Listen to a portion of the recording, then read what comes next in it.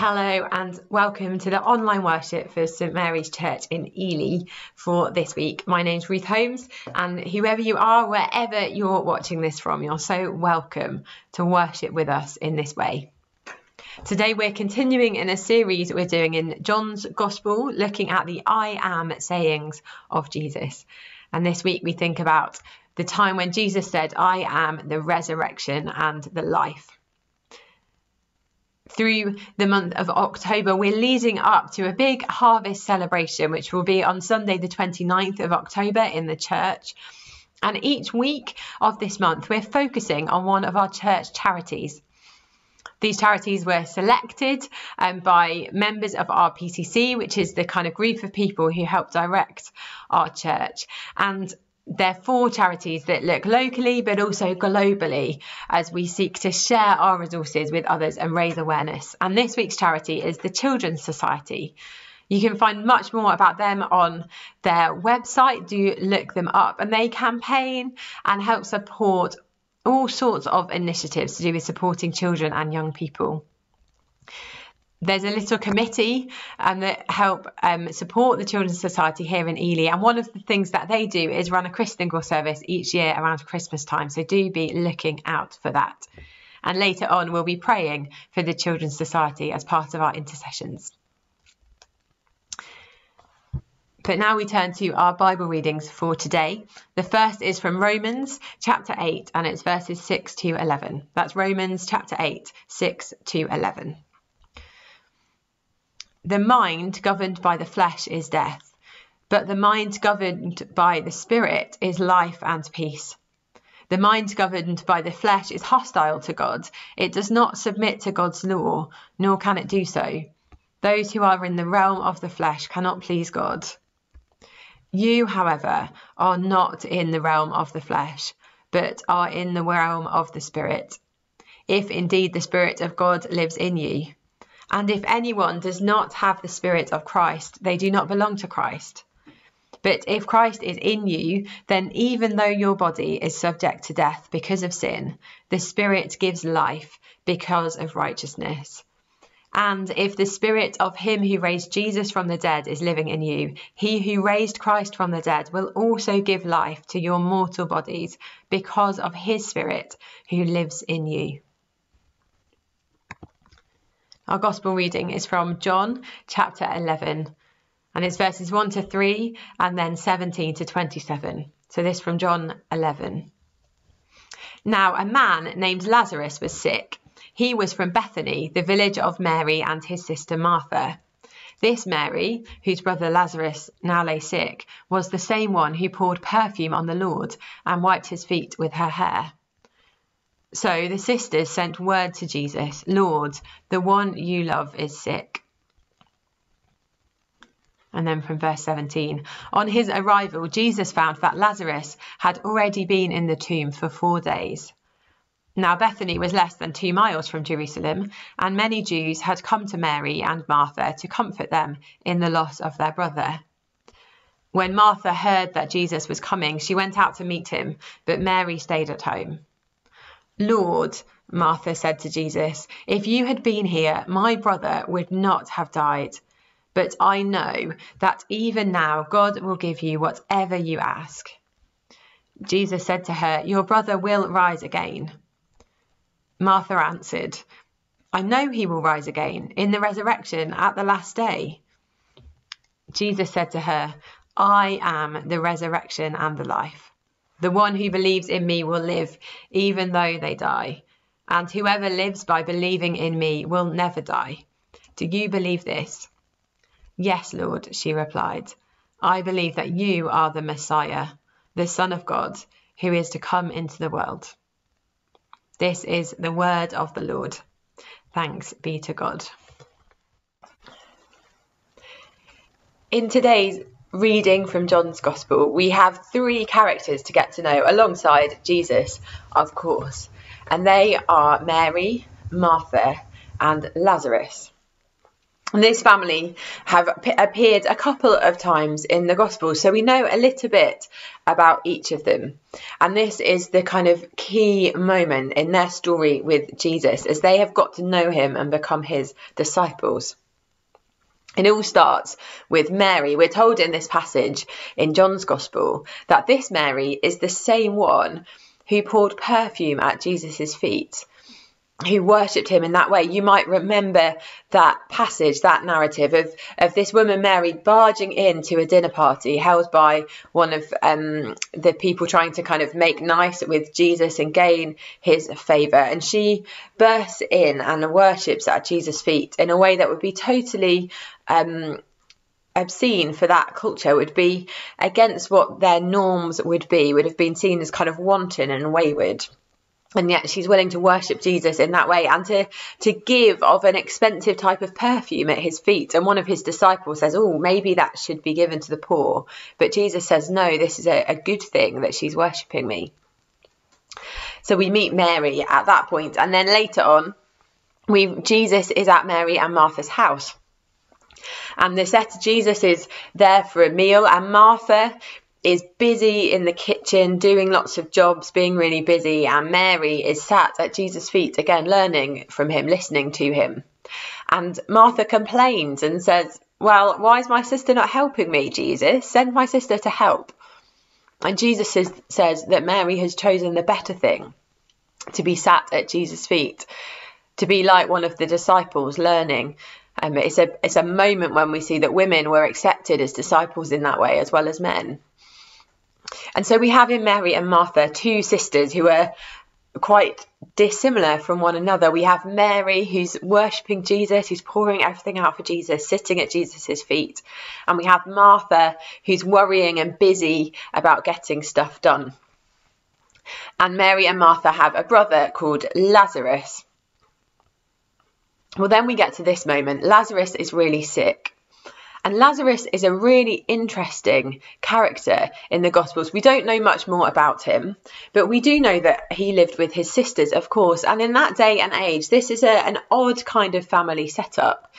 Usually it would be the man's house, the man would get married, and if the sisters were unmarried, they might be taken in by the, by the brother. But here it feels very much like it's Mary and Martha's house, and Lazarus is with, with them. And so some people have suggested that maybe Lazarus had some kind of reason that he couldn't live independently. Perhaps he had a disability of some sort or a learning disability. But for some reason, he wasn't able to be fully integrated in society of the time and needed to stay looked after by his sisters. So Lazarus is someone that society would not have thought very much of in those days, someone seen as unimportant, perhaps we get another amazing picture of Jesus' compassion for those that society have so often overlooked. And at this point in John chapter 11, Lazarus is unwell. And Mary and Martha have sent for Jesus. They've thought, well, gosh, this is really bad. We need Jesus to come and help us here, our friend who we know works miracles. And Jesus has heard the message um, and he's stuck around in Jerusalem for a few more days. He said, well, we'll get to that. And his disciples are bemused by that. And finally, Jesus arrives. And of course, Lazarus has died. He's been in the tomb four days. And here we learn a little more about Mary and Martha because, unlike last time, when Mary was at Jesus' feet and Martha was in the kitchen, well, this time it's Mary who stays in the house. Mary doesn't go out to meet Jesus, she stays where she is. But Martha, she goes out to where Jesus is. She meets him as he's journeying in. And she's really honest with him. She says, Lord, if you were here, my brother wouldn't have died. Where have you been? And but she says, Yet, even now, I believe you can do all things through God. What an amazing statement of faith. And it's an amazing switch over here that in the previous moment, it's Mary who shows that faith and that lack of worry at Jesus' feet. And here it's Martha who's able to go to him and say, Even now I trust in you. Later on, Mary finally comes out to Jesus once Jesus asks for her. She kind of begrudgingly goes out and she says the same thing. Well, if you'd been here, Lord, my brother wouldn't have died. but she doesn't express that same faith. And then later on, a spoiler alert, Jesus puts his money where his mouth is, as it were, and Lazarus is raised from the dead. It's a sign pointing forward to Jesus' own death and resurrection. And tucked away in the middle of it, in response to Martha, in response to Martha saying, Lord, if only you've been here, and yet I believe, Jesus says, I am the resurrection and the life. Martha has this trust in Jesus, this trust that her brother will be okay in eternity. She's okay with that. And Jesus says, No, there's more than this. I am the resurrection and the life. And so, what does this mean for us in our time? Well, Mary and Martha, they were at a point of total despair They'd given up all hope. There was nothing left to do. Death had come. They were mourning. They were being supported in their mourning. And I wonder if we've ever had those moments of feeling totally at rock bottom with nothing left to do, having called on God and saying, Well, God, where have you been? You've shown up too late. Our charity for this week is the Children's Society, and they have lots of resources looking at the various injustices against children in our world. One campaign at the moment is called Look Closer, and it's focused on the exploitation of children and young people, particularly into the drug industry, into sex trafficking, and the like. A thing of total despair as we read about it, as we find out what's going on, we might think, well, there's nothing left to do. And gosh, we have been praying that injustice would end, that people would not be exploited. How on earth, when we read things like that, how on earth can we have hope? And I have great admiration for those people who work in those kinds of charities and other industries where they're constantly exposed to these kinds of stories.